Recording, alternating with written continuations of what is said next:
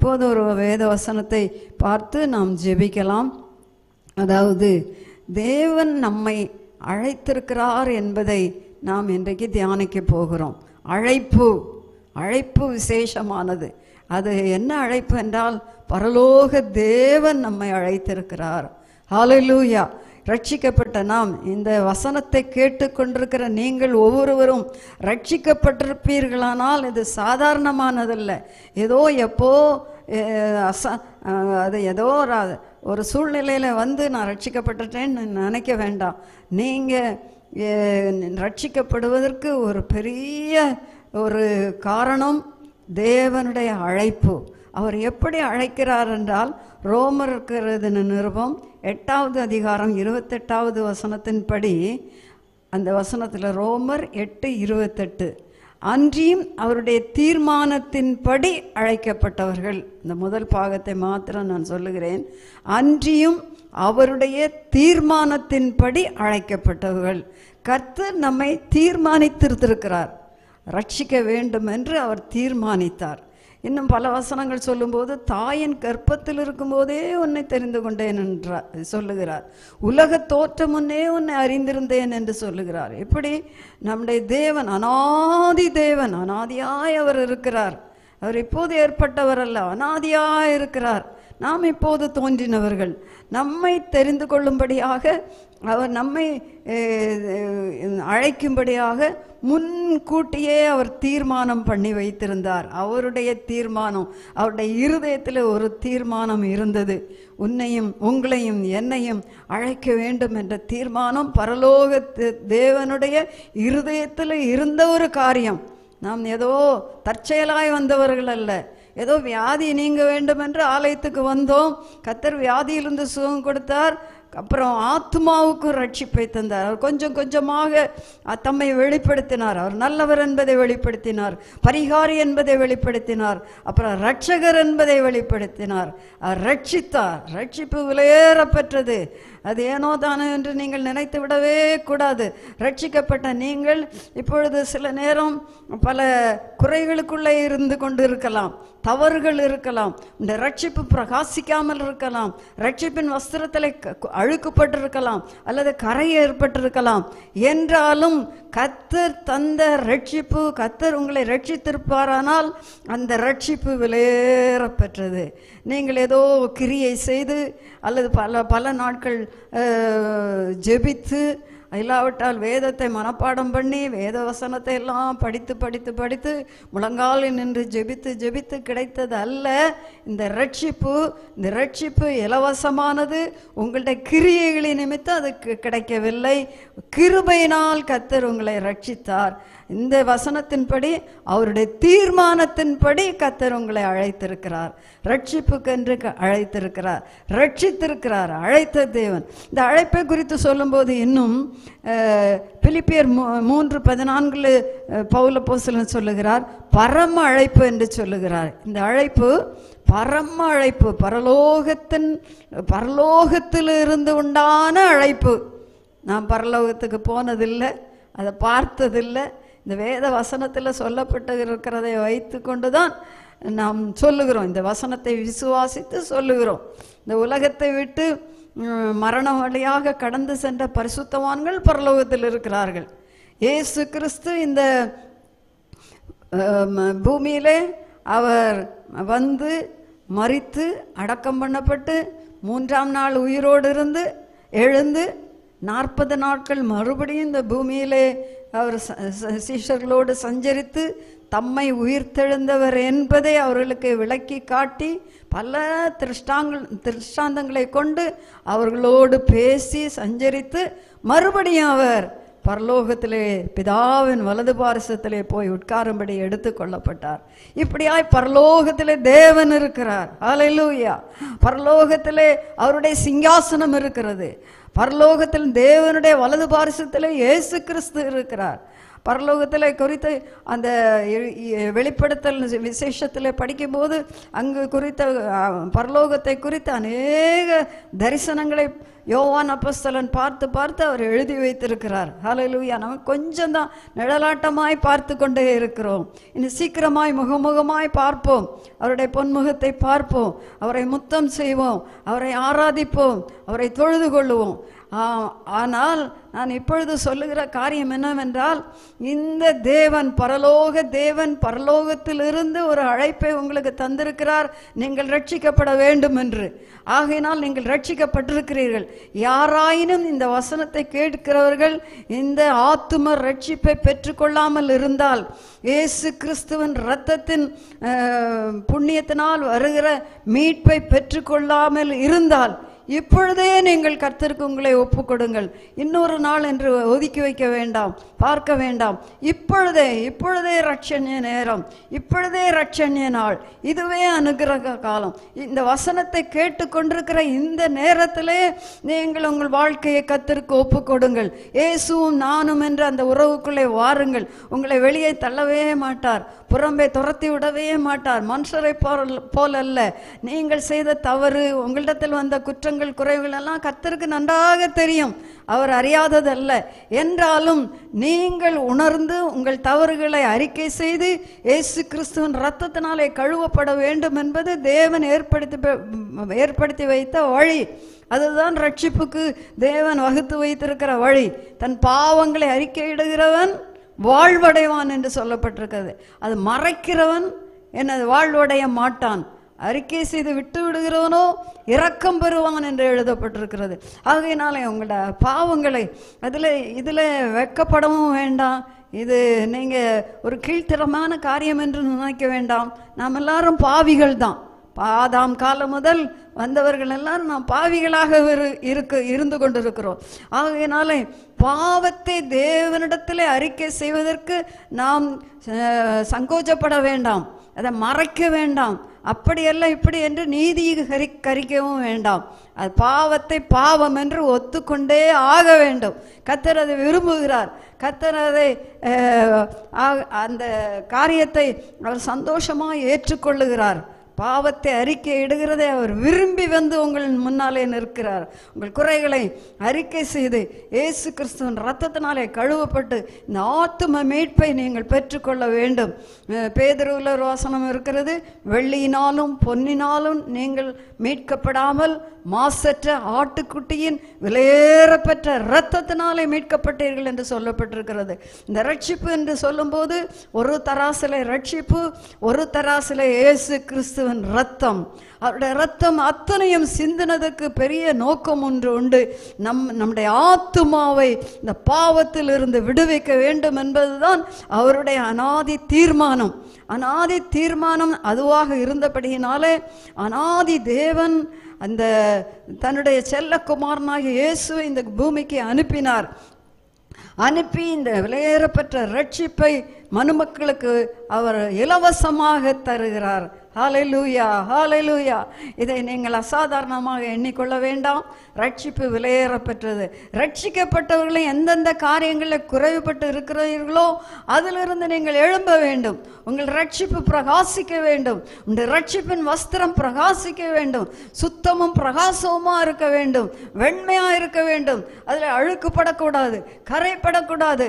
வாழ்க்கையிலே பல போராட்டங்கள் சோதனைகள் வேதனைகள் கஷ்டங்கள் துயரங்கள் வரும்போது சில நேரம் என்ன? இன்பமான வாழ்க்கை சொகுசான வாழ்க்கை கூட சில நேரம் நம்மை ஆண்டவரை விட்டு பிரித்து தள்ளி விடுகிறது நாம் இதிலெல்லாம் உணர்வடைந்து கத்திற்கு முன்பாக பரிசுத்தமுள்ளவர்களாய் சுத்தமுள்ளவர்களாய் கா- நம்மை காத்து கொள்ள வேண்டும். இது பரம அழைப்பு. பரலோகத்திலிருந்து உங்களுக்கு வந்த அழைப்பு. ரட்சிப்பு. ஹாலலூயா ஹாலலூயா முன் தீர்மானத்தின்படி அ- அழைத்தார். ஆண்டவருடைய தீர்மானத்தின்படி அவர் நம்மை அழைத்திருக்கிறார். நீங்கள் சிலர் பாருங்க இந்த ரட்சிக்கப்பட்ட குடும்பங்களில் ரட்சிக்கப்பட்ட பிள்ளைகள் இருப்பாங்க. அவங்களுக்கு இந்த அனுபவங்கள் எல்லாம் சரியாய் புரிந்து கொள்ள முடிகிறதில்ல. ஏதோ எங்கள் அம்மா அப்பா ஆலயத்துக்கு போனாங்க ரட்சிக்கப்பட்டிருந்தாங்க. நானும் போனேன் ரட்சிக்கப்பட்டேன்.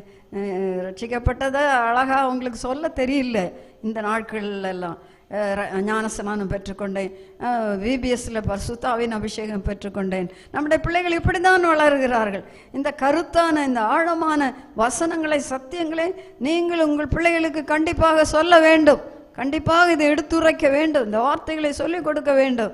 நம்ம என்னென்னமோ காரியங்களை எல்லாம் பிள்ளைகளோடு பேசுகிறோம் பகிர்ந்து கொள்ளுகிறோம். வசனத்தை கொஞ்சம் நீங்கள் சொல்லிக் கொடுப்பீர்களானால் அது மிகுந்த பாக்கியமாக இருக்கும். தாயின் இதில் பங்கு அதிகம் உண்டு. தாய் தான் தாய்மாரோட தான் பிள்ளைங்க அதிகமான நேரம் செலவிடுறாங்க.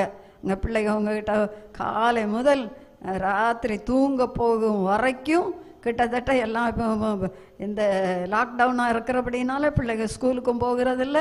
இப்போ பெரிய பிள்ளைங்க போவாங்க சின்ன பிள்ளைங்க உங்களோடு தான் இருக்காங்க. சின்ன பிள்ளை என்று பார்க்க பாராமல் அந்த பிள்ளைகளுக்கும் இயேசுவின் அன்பை சொல்ல வேண்டும். பாருங்க மோசையை கத்தர் தெரிந்து கொள்ளுகிறார். மோசே சாக வேண்டியவன். அவன் ரெண்டு வயசுக்கு உட்பட்ட எல்லா ஆண் பிள்ளைகளையும் கொல்லணும்னு சொன்னான்.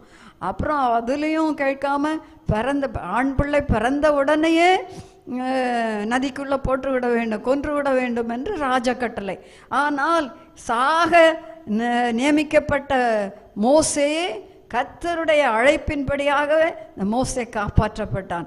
அந்த எங்க சாவுக்கு சாகிறதற்கு ஏதுவான கட்டளை பிறந்ததோ அந்த இடத்திலே மோசையை வளரும்படியாக கத்தர் அனுகிரகம் செய்தார்.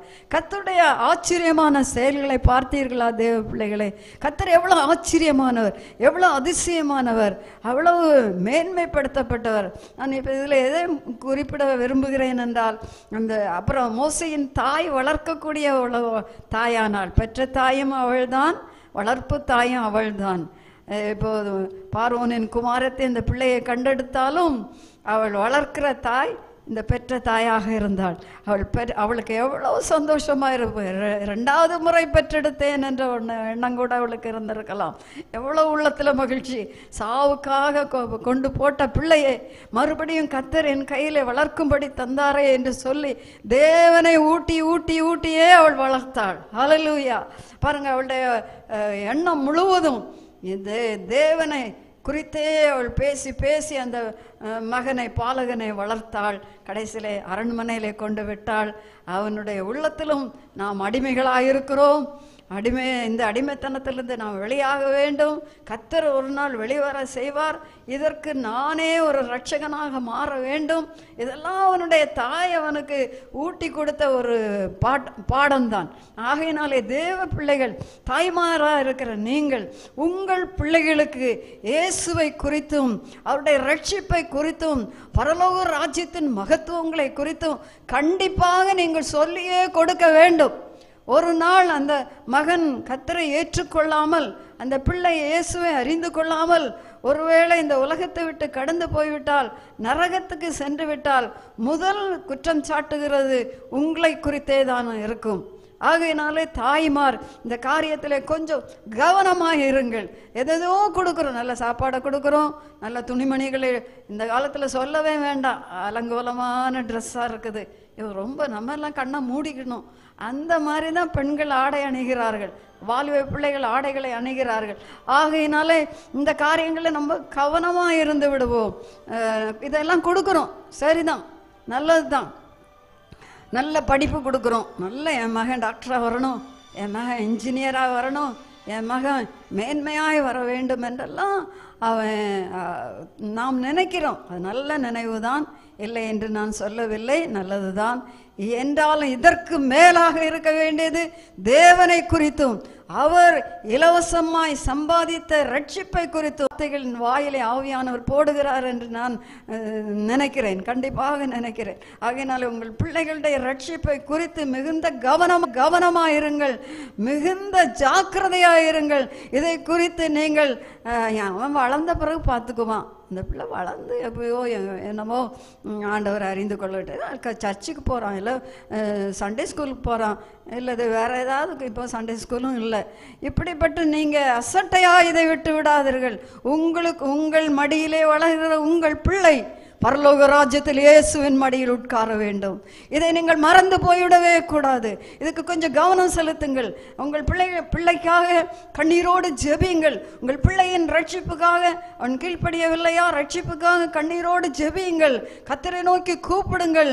உபவாசம் எடுத்து ஜெபியுங்கள். இதை ஏனோ தானே என்று விட்டு விடாதீர்கள் யாரானாலும் சரி உங்களுக்கு இந்த வார்த்தை வந்து கொண்டிருக்கிறது. உங்கள் பிள்ளையை குறித்து கவலையினமாய் விட்டு விடாதீர்கள் ஹalleluya. லூயா நானும் கத்தர் எனக்கு கொடுத்த பிள்ளைகளும் சியோனிலே அற்புதங்களாகவும் அடையாளங்களாகவும் இருக்கிறோம் என்று வேத வசனம் சொல்லப்பட்டிருக்கிறது. ஆகையினாலே சியோனிலே கர்த்துடைய சமூகத்திலே கர்த்துடைய சந்நிதியிலே நீங்கள் மட்டுமல்ல உங்கள் குடும்பமும் வந்து உங்கள் பிள்ளையும் வந்து அந்த இடத்துல காணப்பட வேண்டும். உங்கள் பந்தியை சுற்றிலும் உங்கள் பிள்ளை ஒலிவு மர கன்றை போல காணப்பட வேண்டும். உங்கள் பந்தியை விட்டு விலகி விடக்கூடாது. கத்துடைய பந்தியை விட்டு நீங்கள் கத்தரை ஏற்றுக்கொண்டு அவரை பின் செல்கிறீர்களே இந்த வழியை விட்டு இந்த கர்த்தருடைய பந்தியை விட்டு உங்கள் பிள்ளை விலகி விடுவதற்கு நீங்கள் இடம் கொடுக்கவே கூடாது. இதுக்கு எந்த கிரயம் செலுத்த வேண்டுமோ அதை நீங்கள் செலுத்தியே ஆக வேண்டும். உங்கள் பிள்ளையும் பரலோக தேவன் அழைத்து அவன் தெரிந்து கொண்டு கர்த்தருடைய பாதையில நடத்தும்படியாக விரும்பி ஜெபம் ஜெபம் பண்ணுங்கள். விரும்பி கேளுங்கள். அப்படியானால் அவன் கர்த்துடைய வழியிலும் வந்து விடுவான். கர்த்துடைய ஊழியத்துக்கென்று கத்தர் நியமிப்பாரானால் சங்கடப்படாதுங்க. கத்தருக்கு ஊழியம் செய்கிறதை காட்டிலும் பெரிய வேலை இந்த பூமியில் எதுவுமே கிடையாது. பரலோக பிதாவானவர் கனம் பண்ணுகிற ஊழியம். ப- ஒருவன் எனக்கு ஊழியம் செய்த செய்தால் அவனை பிதாவானவர் கனம் பண்ணுவார் என்று எழுதப்பட்டிருக்கிறது. உங்கள் பிள்ளை ஊ- ஊழியத்திற்காக கத்த தெரிந்து கொள்வாரானால் சந்தோஷமாய் ஒப்புக்கொடுங்கள். ஆண் பிள்ளையானாலும் சரி பெண் பிள்ளையானாலும் சரி சந்தோஷமாய் கத்துடைய கரத்தில் விட்டு விடுங்க. ஊழிய சிலர் பாருங்க ஊழியக்காரர்களோடு பழகினால் என் பிள்ளை ஊழியத்துக்கு போயிடுவானோன்னு பயப்படுறாங்க. ஊழியக்காரர்களோடு சேர்ந்து அதிக நேரம் செலவிட்டால் என் பிள்ளையும் சேர்ந்து போயிடுவானோன்னு நினைக்கிறாங்க. நினைக்காதுங்க. கத்தர் தானாக அவன் போக முடியாது. கத்தருடைய அழைப்பு இல்லாமல் போக முடியாது. ஆகையினாலே சிலர் தாய்மார் என் பிள்ளையை கத்தர் அழைக்க மாட்டாரா என்று நினைக்கிறார்கள். சில தாய்மார் வயிற்றில் இருக்கும்போதே ஜெபிக்கிறார்கள். இந்த பிள்ளை கத்தருக்காக ஊழியத்திற்காக வர வேண்டும் என்று ஒப்பு கொடுக்கிறார்கள் ஜெபிக்கிறார்கள். ஆகையினாலே நீங்கள் கத்துடைய ஊழியத்துக்காக உங்கள் பிள்ளைகள் பிள்ளையை கத்தர் தெரிந்து கொள்ளுவாரானால் தேவன் அழைக்கிற பரம் அழைப்பு பரலோகத்திலிருந்து வருகிற அழைப்பு அவருடைய தீர்மானத்தின்படி வருகிற அழைப்பு. ஆகையினாலே அவருடைய தீர்மானத்தின்படி அழைக்கிறார். அதற்கு நீங்கள் முற்றிலும் ஒப்பு கொடுங்கள். உங்கள் பிள்ளைகளும் ஆவிக்குரிய மகிமையான அனுபவத்தை எட்டி பிடிக்கும்படியாக நீங்கள் விரும்பி ஜெபியுங்கள். விரும்பி விரும்பி இந்த காரியத்தில் கொஞ்சம் சிரத்தை வைத்துக்கொள்ள வேண்டும் என்று நான் கனிவோடு உங்களை கேட்டுக்கொள்ளுகிறேன். அஹ், கர்த்தருக்கு முன்பாக உங்கள் பிள்ளைகளையும் மேன்மையாய் நடத்துவாராக. இன்னும் ஒரு வசனத்தை நாம் வாசிக்கலாம். ஒன்று குருந்தியர் நிருபம் முதலாவது அதிகாரம் இருபத்தி நான்காவது வசனம். ஒன்று குருந்தியர் ஒன்று இருபத்தி நான்கு. ஆகிலும் யூதரானாலும் கிரேக்கரானாலும் எவர்கள் அழைக்கப்பட்டிருக்கிறார்களோ அவர்களுக்கு கிறிஸ்து தேவ பலனும் தேவ ஞானமுமாக இருக்கிறார் நான் அழைக்கப்பட்டதை மாத்திரம்தான் இந்த நேரத்தில்னு சொல்லுகிறேன். அழைக்கப்பட்டவர்கள். எங்கிருந்தாலும் கத்தர் அழைக்கிறார். யூதரிலிருந்து அழைக்கிறார். கிரேக்கரிலிருந்து அழைக்கிறார். சிறியவர்களையும் அழைக்கிறார். பெரியவர்களையும் அழை- அழைக்கிறார். படித்தவர்களையும் அழைக்கிறார் படியாதவர்களையும் அழைக்கிறார். எப்பேற்பட்டவர்களாக இருந்தாலும் அழைப்பு தான் முக்கியம்.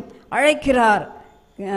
எவர்கள் அழைக்கப்பட்டிருக்கிறார்களோ அவர்களுக்கு கிறிஸ்து தேவ பலனாக இருக்கிறார் தேவ ஞானமாக இருக்கிறார் அதன் காரணம் என்ன? ஏன் தேவ பலனாயும் தேவ ஞானமுமாய் இருக்கிறார் என்றால் இருபத்தைந்து தொடர்ந்து கீழே உள்ள வசனத்தை நாம் பார்ப்போமானால் தேவன் உலகத்தில் பைத்தியமானவைகளை தெரிந்து கொள்ளுகிறார். உலகத்திலே பைத்தியம் எனப்படுவது மன்ற ஞானத்திலும் அதிக ஞானமாக இருக்கிறது. அடுத்த வசனமா? இருபத்தஞ்சாவது வசனம். பைத்தியமானவைகள்.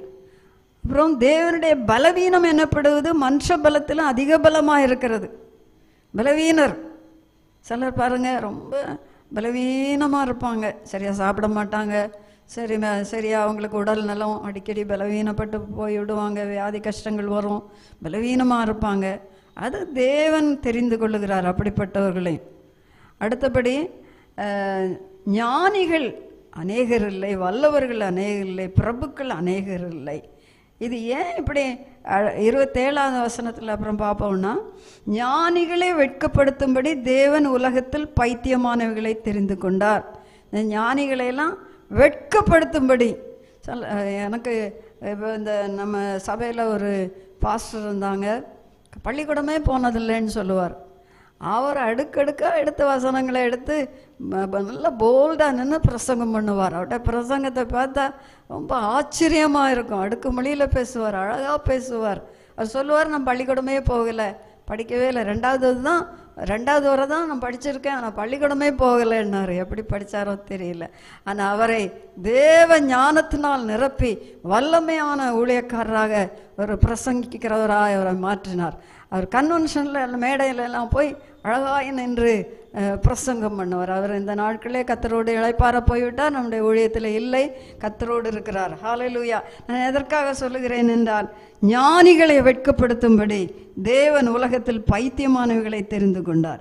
பலமுள்ளவைகளை வெட்கப்படுத்தும்படி தேவன் உலகத்தில் பலவீனமானவர்களை தெரிந்து கொள்- கொண்டார். உள்ளவர்களை அவமாக்கும்படி உலகத்தில் இழிவானவைகளையும் அற்பமாய் எண்ணப்பட்டவைகளையும் இல்லாதவைகளையும் தேவன் தெரிந்து கொண்டார். ஹalleluya. அப்போ கத்துடைய அழைப்பு எவ்வளோ மனுஷருடைய அழைப்பின் அழைப்பை போல அல்ல தேவனுடைய அழைப்பு. தேவன் இப்படிப்பட்ட அப்பட்டவர்களை தெரிந்து கொள்- கொள்கிறார். பைத்தியமானவைகளை பலவீனரை இழிவானவைகளை அற்பமாக எண்ணப்பட்டவர்களை இல்லாதவைகளை. பார்த்தீங்களா இத்தனை குரூப் ஆண்டவர் தெரி அழைக்கிற அழைப்பிலையும் தெரிந்து கொள்ளுதலையும் இருக்கிறது. ஆலையிலூயா அவர் சீஷர் அதை பாருங்கள் ஏசு உலகத்தில் வந்திருந்த நாட்களில் தன்னுடைய சீஷர்களை தெரிந்து கொண்டார் அல்லவா? மார்க்கு சுவிசேஷத்தில் சொல்லப்பட்டிருக்கிறது ரா முழுவதும் ஜெபம் பண்ணி அவருடைய சீஷர் கூட்டத்திலிருந்து பனிரெண்டு பேரை தெரிந்து கொண்டார். சீஷர் கூட்டத்தை அழைத்து அவர்களிலிருந்து பனிரெண்டு பேரை தெரிந்து கொண்டார். தெரிந்து கொண்ட அழைக்கப்பட்டவர்களுக்குள்ளே இருந்து பன்னிரண்டு பேரை தெரிந்து கொண்டார். அவர்கள் எப்படிப்பட்டவர்கள் என்றால் செம்படவர்கள் மீன் பிடிக்கிறவர்கள். அலையிலூயா அவர் பேதரில் ரொம்ப ஆத்திர குணமுள்ளவர் சும்மா வேக வேகமாக பேசிடுவார். அவரை அவரை தேவன் தெரிந்து கொண்டார்.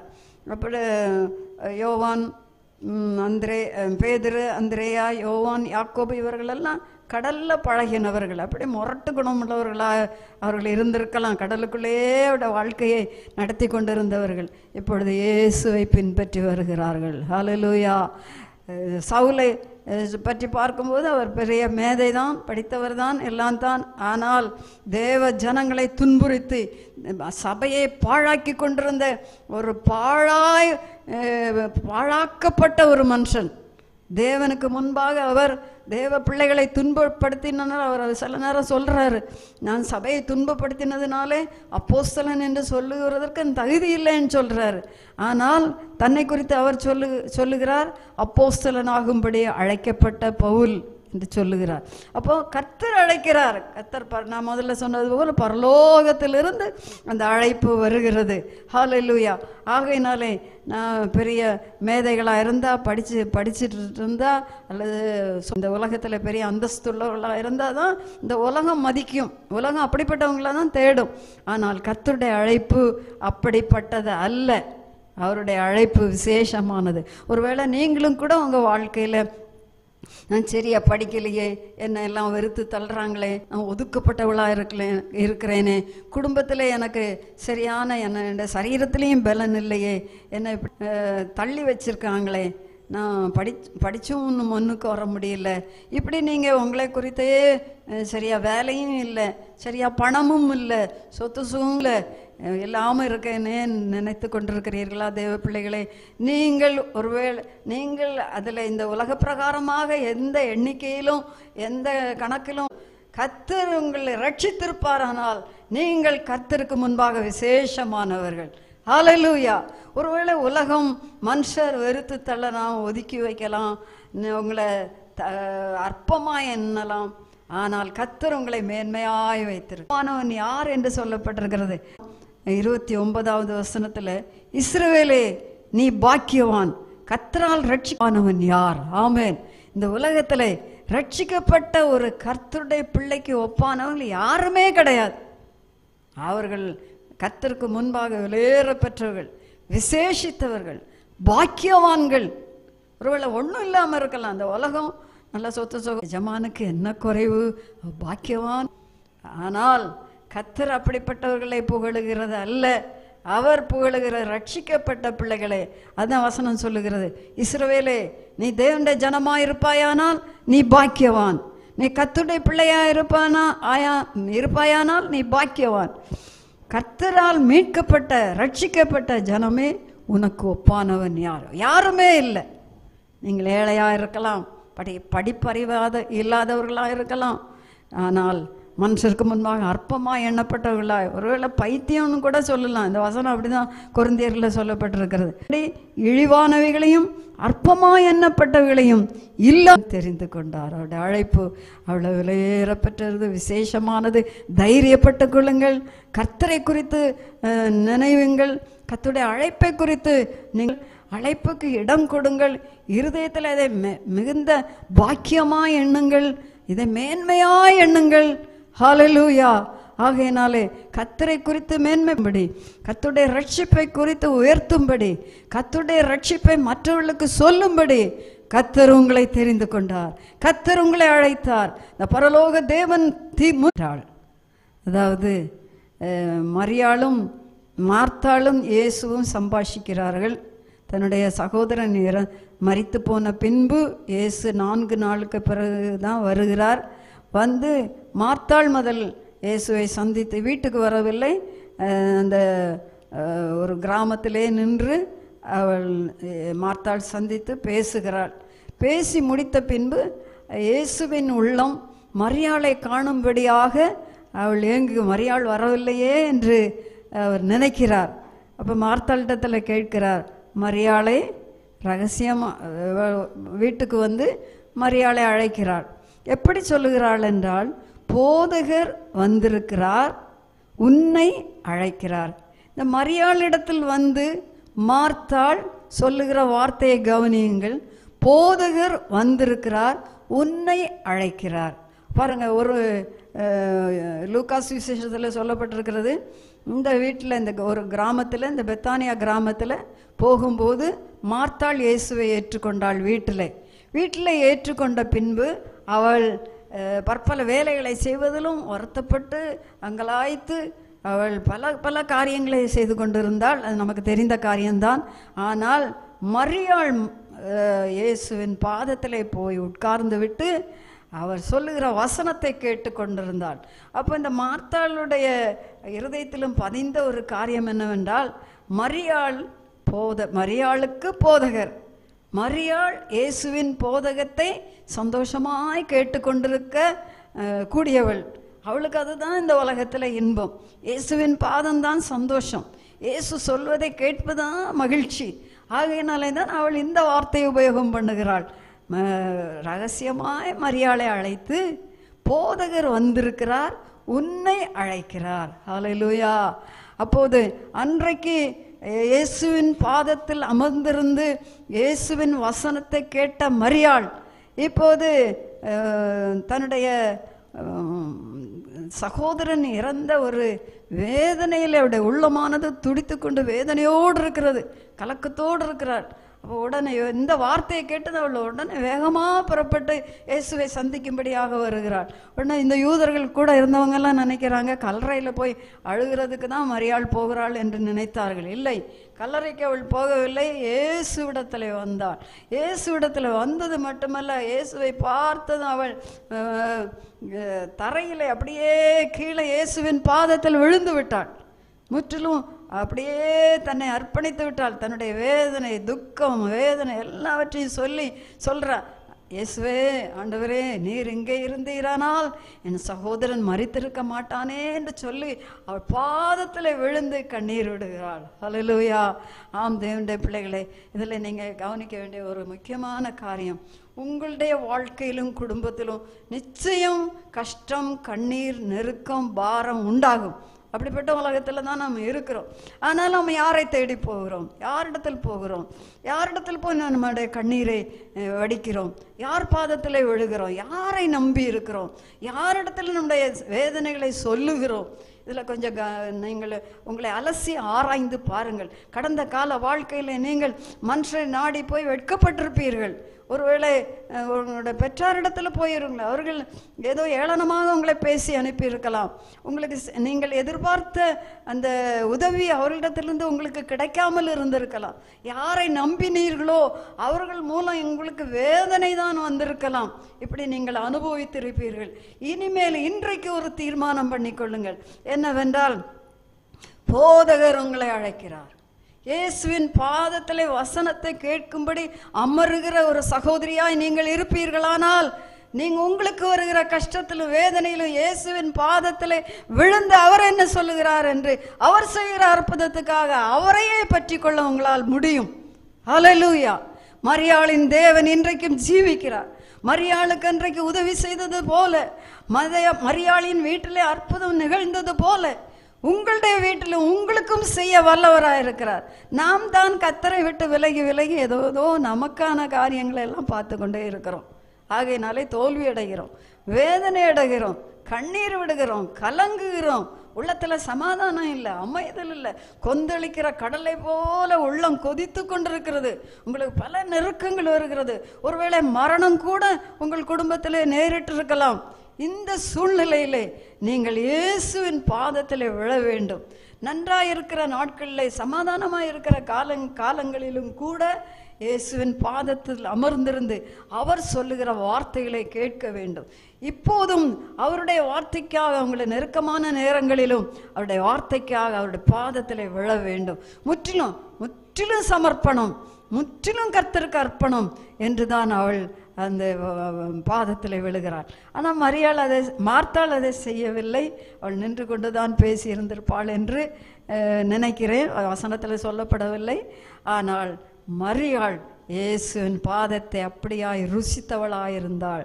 ஹலலூயா மரியாளின் அழைப்பு. இன்னொருவர் மூலம்தான் அவளுக்கு அந்த அழைப்பு வந்தது. போதகர் அழைக்கிறார். போதகராய் இயேசுவை ஏற்றுக்கொள்ளுங்கள். உங்களுக்கு அந்த அழைப்பு வருகிறது. ஏனென்றால் சில நேரம் கத்தர் நேரடியாகவே சிலர் சிலரிடத்தில் பேசுகிறார்.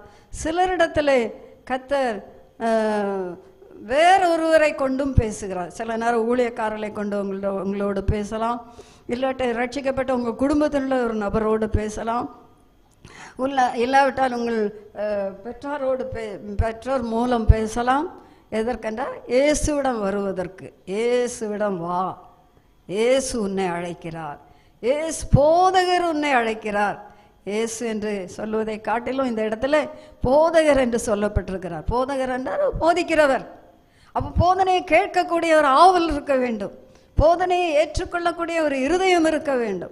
அப்படியானால் போதகர் உங்களை போதித்து அழகாக நடத்த வல்லவராக இருக்கிறார் அற்புதங்களை செய்ய போதுமானவராக இருக்கிறார் ஆச்சரியமான தேவன். அற்புதமான நாம் நினைக்கிறபடி அல்ல.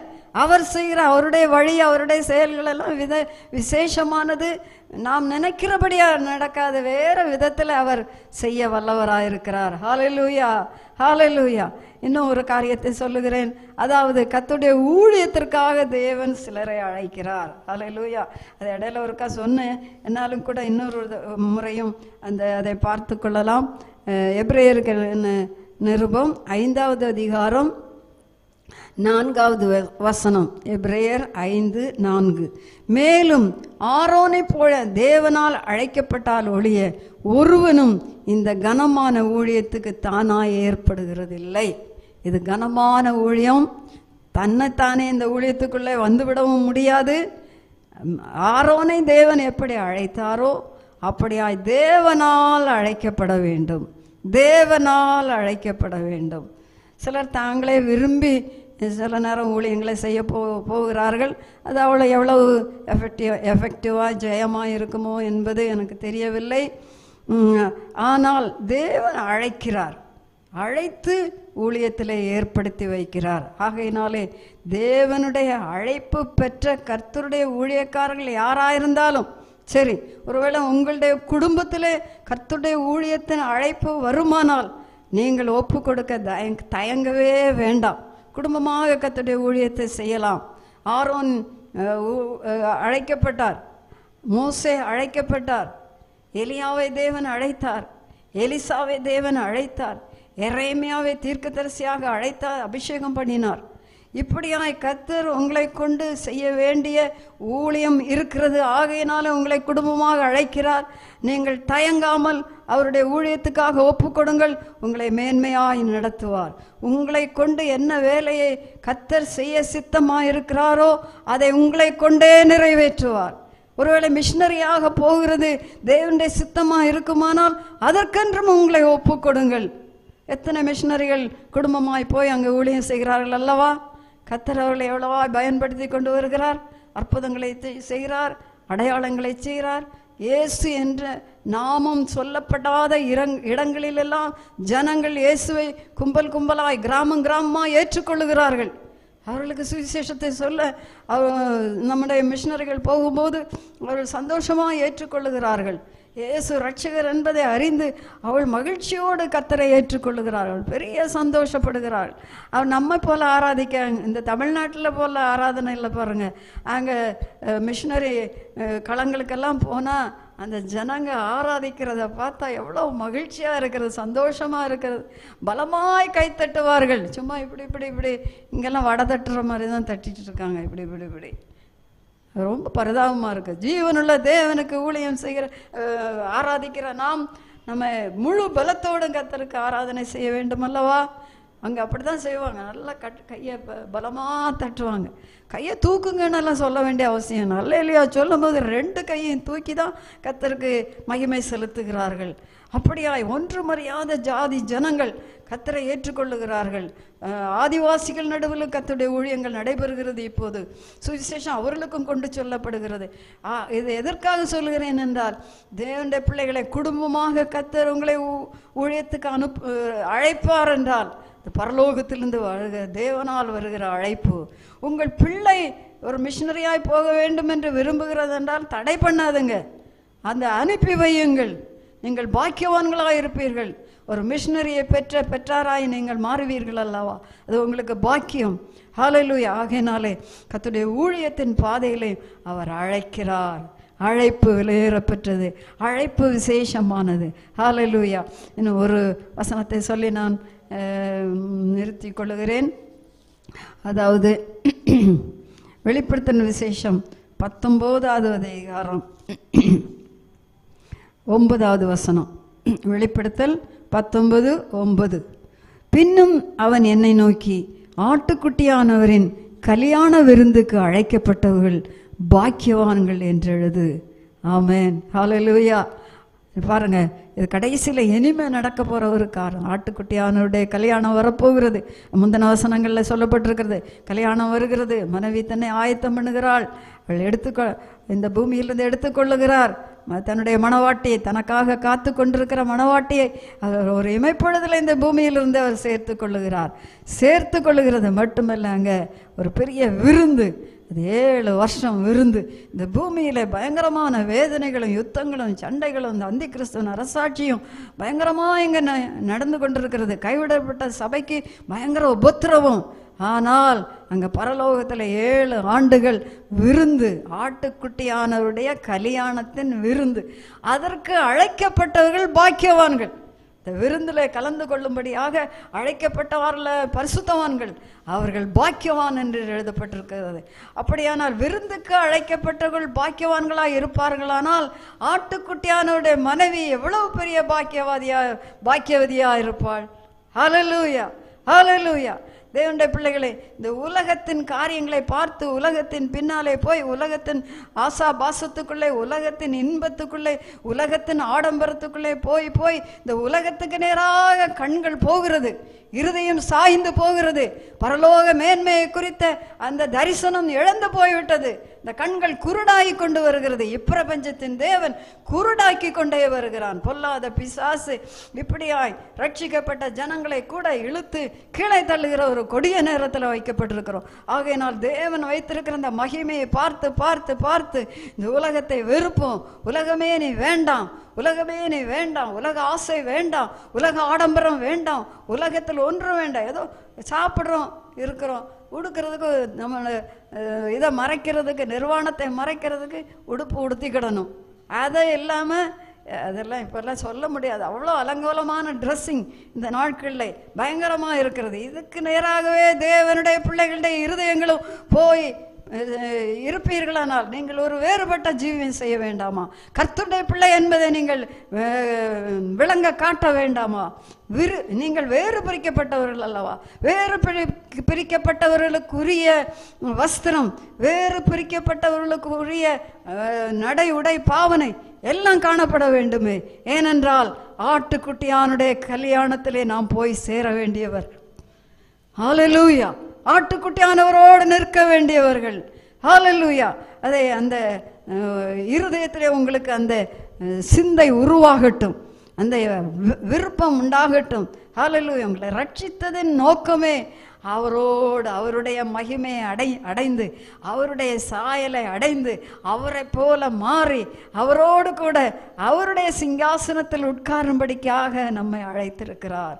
ஹலலூயா ஹலலூயா ஆட்டுக்குட்டியானுடைய கல்யாணம் வந்தது. அவருடைய த மனைவி தன்னை ஆயத்தம் பண்ணினாள் என்று சொல்லப்பட்டிருக்கிறது. ஆட்டுக்குட்டியானவருடைய கல்யாண விருந்துக்கு அழைக்கப்பட்டவர்கள் பாக்கியவான்கள் என்று எழுதப்பட்டிருக்கிறது.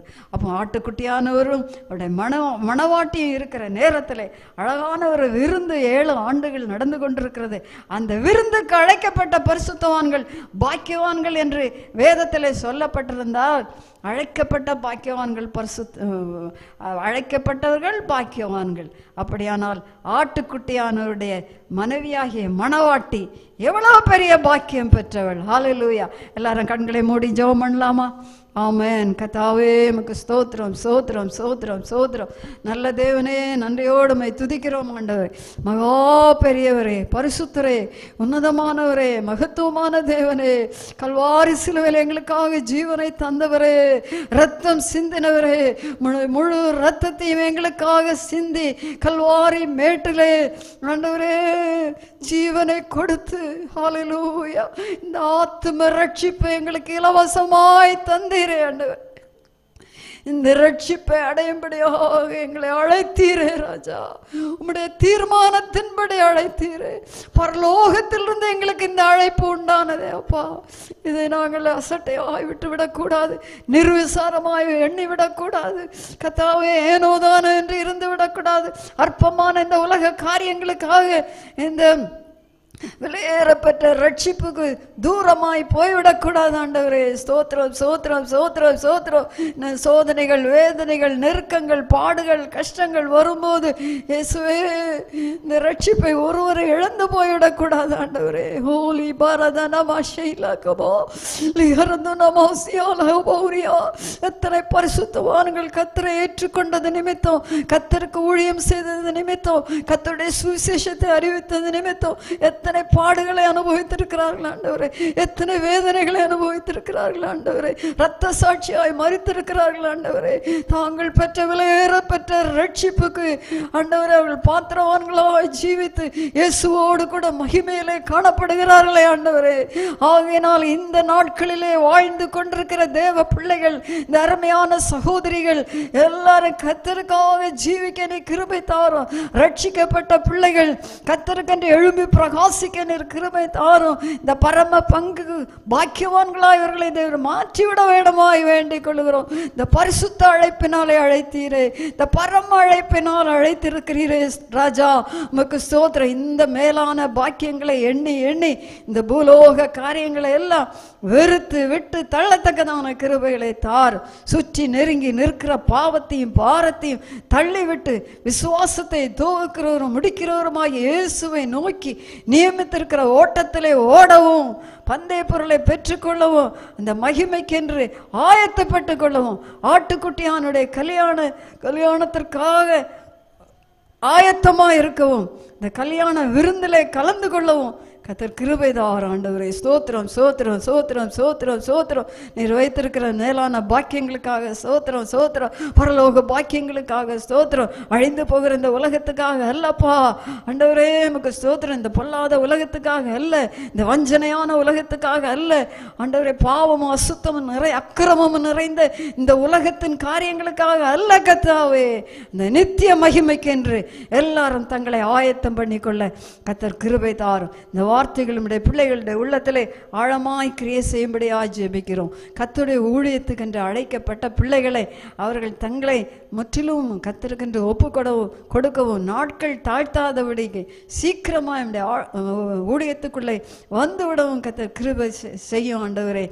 இனி காலம் செல்லாது என்று எழுதப்பட்டிருக்கிறது.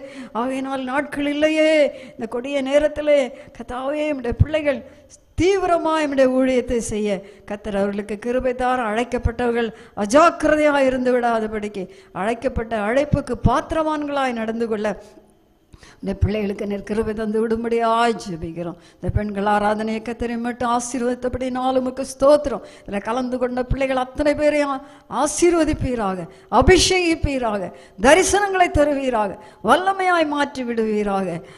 கத்தாவை ஆட்டுக்குட்டியானவருடைய மணவாட்டியாய் ஒவ்வொருவரும் தங்களை ஆயத்தம் பண்ணிக்கொள்ள கத்தர் கிருபை செய்யும். அதற்கென்றே நீர் அழைத்தீர்.